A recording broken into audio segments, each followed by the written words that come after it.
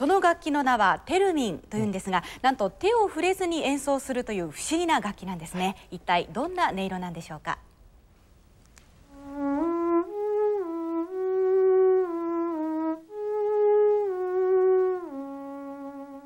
鍵盤もありませんしフレットもありませんから音程を決める際のよりどころは自分自身の耳にしか求められないんですね。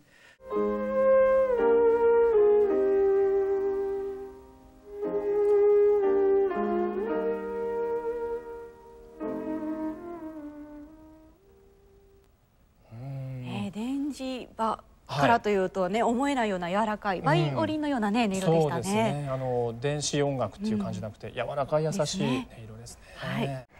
世界最古の電子楽器で名前はテルミン。この楽器が奏でる不思議で温かい音色をお聞きください。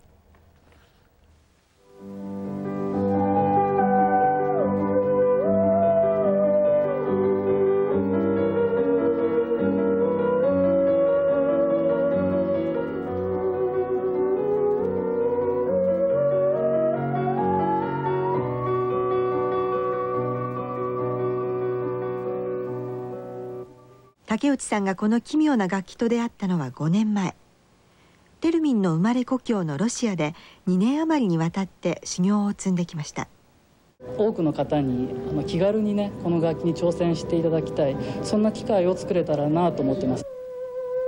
シンセサイザーやエレクトーンなど電子楽器が進歩を続けてきた中で竹内さんとテルミンは今の電子楽器にはない手のひらから出る温かい音色で聴衆を魅了します。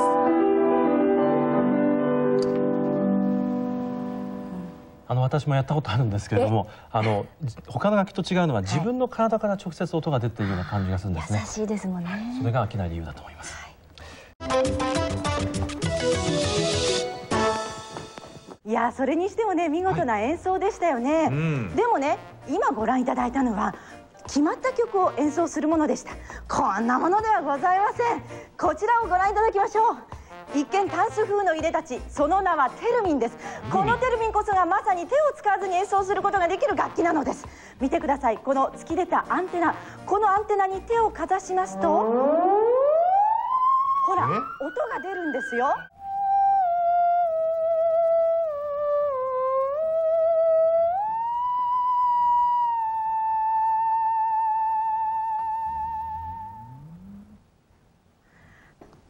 しうっとりとしてしまいましたね。そりゃあもう一大事。信じられないですね。ね本当に楽器にはね全く手を触れていないんですよね、はい、手を触れることなく演奏することができる楽器。テルミンを日本人として初めて演奏した竹内さんの話題でした、はい、全然触らないのに音が鳴るって本当一大事って感じですけど、ね、柴さんこの楽器ご存知いや知らなかったですね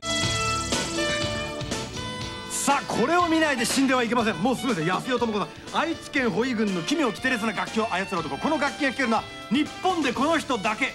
とりあえず行ってきまして、はい、はい、もうなんか偏屈そうな親父出てくるんちゃうかなって思ってたんですけども、うん、それはどうかな？VTR 回転。回転。回転か。さて今日は小坂井町というところに来てます、はい、なんと、うん、ここにはあの日本でただ一人しかその楽器を使えないという不思議な楽器を使える人がいてるんです。日本でただ一人？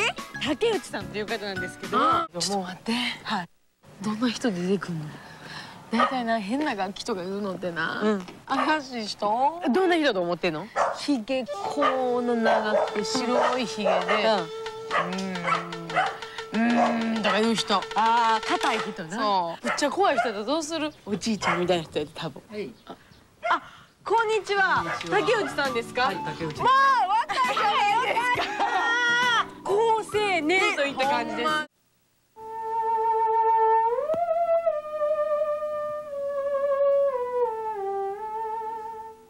剣とかがあるわけじゃないやんか。わかります？これは何なんですか？普通ね、あの鍵盤があったり、ね、フレね指板があったりして、はい、どこをしたらどの高さの音が出るっていうのははっきりわかるんだけど、目安になるようなあの、ね、ものも何もないから演奏する人の耳しかねよりどころを求められないよね。じゃあ海外に行って勉強されて。ロシアね。モスクワに渡って、この楽器の勉強をしに行ってきたんだけど、最初はね全然言うこと聞いてくれないのね、ネットワークなんです。今日はちょっと面白い楽器が登場します。担当は豊橋報道室松岡記者です。松岡さんこんばんは。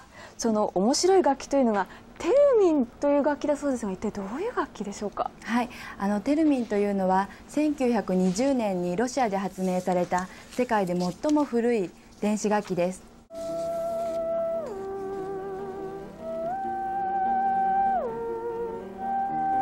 この楽器がテルミンです。電源を入れると本体の上と横に伸びたアンテナの周りに電磁場が生じます。まっすぐ立つだけでもなかなかね難しいんですよ。これはテルミン始めて見て初めて知ったことなんですがそういう生身の人間が楽器と格闘する面白さみたいなものを、えー、テルミンは教えてくれてるんじゃないかなっていうふうに思って名古屋市や豊橋市でもコンサートが開かれる予定です。はい、本当に音の弾き方も魅力的な楽器でした。触ってみたい、ね、触れないんだけど音を出してみたい楽器でした。はい、はい、ネットワークな報告は豊橋報道室の松岡記者でした、はい公開生放送でお伝えしてまいります。はい。寒いですから待ち合わせにいかがでしょうか？皆さんのお越しお待ちしています。そうですね。さて、えー、月曜日の今日の話題でございますがまずはですね今日は大変珍しい楽器をご覧いただきそして音を聞いていただくということなんで、はい、えー、ロシア生まれの楽器なんですね。テルミンという楽器なんです。この楽器を演奏する人が愛知県の小坂町にいます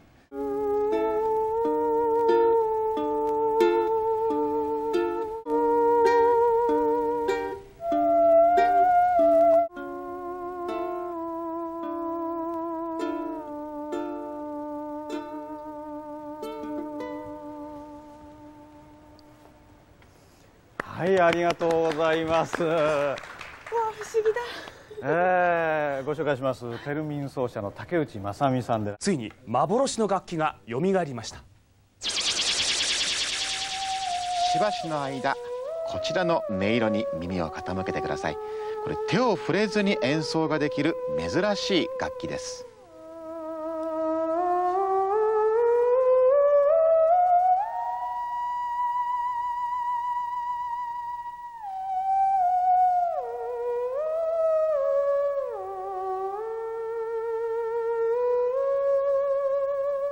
心が落ち着く優しい音色ですよね。ロシアから生まれた不思議な楽器が今蘇ろうとしています。そのロシアへ渡った日本人というのが今演奏してくださいました竹内正美さんです。今朝は愛知県小坂井町の音楽ホールにお邪魔をしております。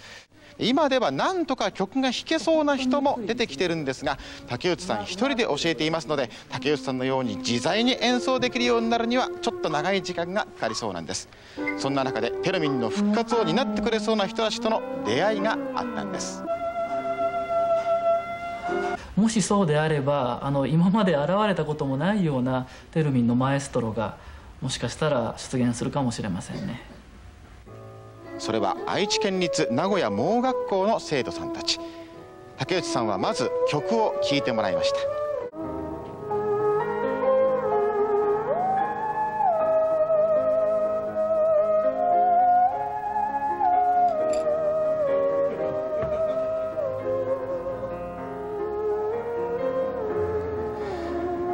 いやいいものを聞かせていただきました。ありがとうございました。時刻は7時55分を回っております。コマーシャル天気予報に続いてはズームインチェックです。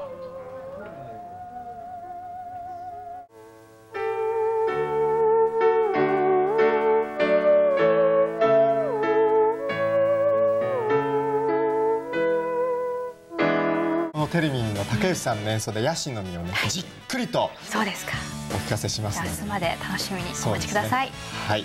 とにかく哀愁をね、はい、電子楽器世界初の電子楽器なんですが、うん、非常に音色が哀愁を帯びていて、うん、私なんか聞いてまして特に日本のね歌に合うなと思ってヤシの実お願い、はい、明日ぜひこの時間ご覧になってください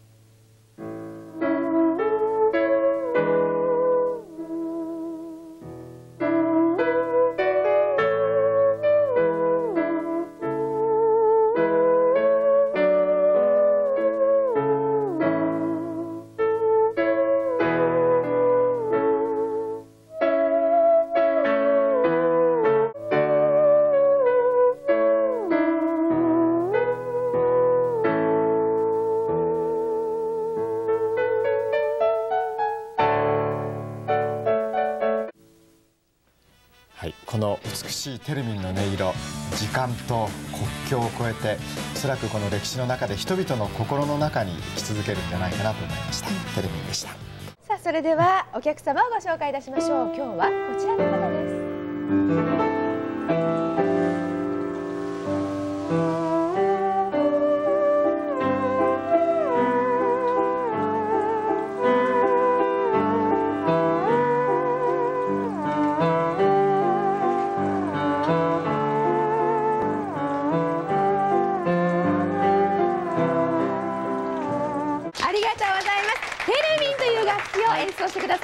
竹内正美さんです。よろしくお願いいたします。私たちには弦が見えませんけど弦見えませんよね。私にも見えませんよね。空気中ですよね。そうなんですよ。どう一体どうなっているのかというのをまず聞きたいんですけれども。えあのご覧になってお分かりの通り、はいこのテルミンを弾くにあたっては楽器に触れてはいけないんですね。いけないんですね。でこのじゃあどうしてそんなことが可能になるかというと、はい、このテルミンにはあの楽器に似つかわしくないアンテナが垂直水平方向に生えてるんですけど、ねえー、この周りからあの微弱な電波が出てる。はい、あれなんでこんな？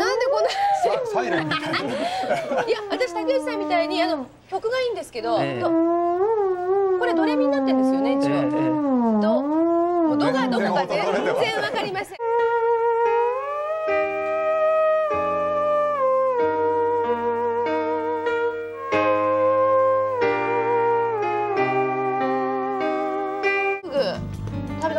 ええ、あの三十二歳にして初めていただきました。いかがでしょう味は？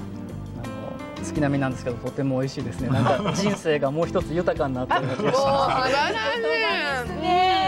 ね。ということで当日券があるそうですね。当日券が若干残ってますね、えー、ねぜひ皆さん興味のある方お出かけくださいませ。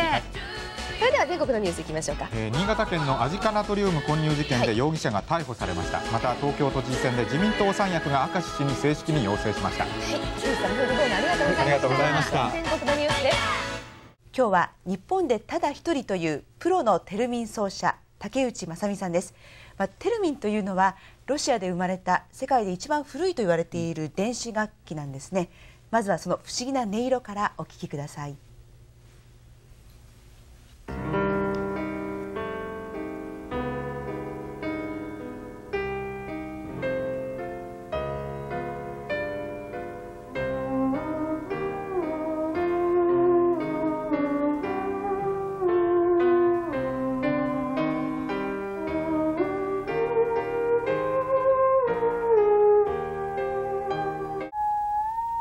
高い音。少しずつ上昇していきますね。逆に離せば。低くなっていく。専門的に本格的にこの楽器と取り組んであの音楽をやる人っていうのはとても少ないですね。これは世界的に見ても演奏家人口というのはとても少ないんです。ただ関西の人とっても興味があるみたいですね、うん、あの各地でコンサートを、まあ、してましてね、えー、あの関西でやることがまたとても多いんですけどコンサートが終わった後にあの私も弾いてみたい。で私のところに直接来られる方っていうのがね一番多いのが関西なんですよ。そうでしょうね。さあ今日は珍しい楽器をご紹介しましょう。名前はテルミンと言いましてロシアで発明された電子楽器なんです、はい、一体どんな楽器でどんな音色を奏でるんでしょうか。桐山記者が取材しました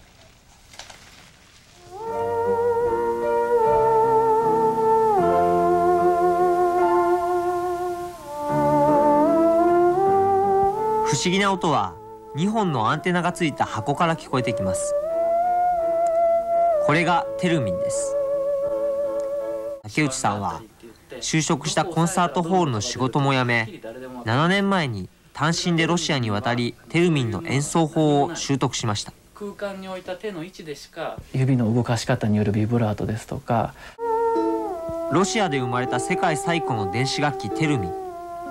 その不思議な響きは海を越えた日本で新鮮な感動を生んでいます。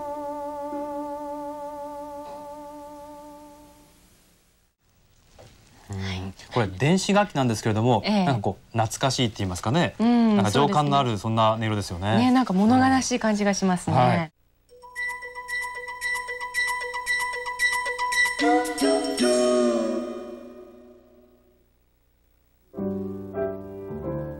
愛知県豊橋市にある小さなサロン。教会の日曜学校のような雰囲気でお客さんを前にしてるのは神父さん。ではなくテルミン奏者の竹内正美さんです。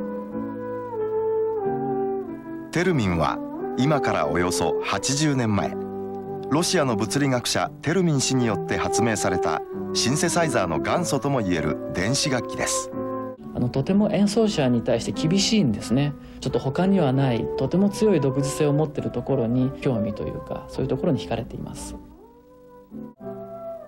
想像というかこれは夢なんでしょうが私もまあ年を取っていくわけで手の震えなんかも出てきたりするかもしれませんがそれがまた演奏に反映された、えー、それなりの味のあるまた演奏ができたらいいななんてぼんやり思ってます。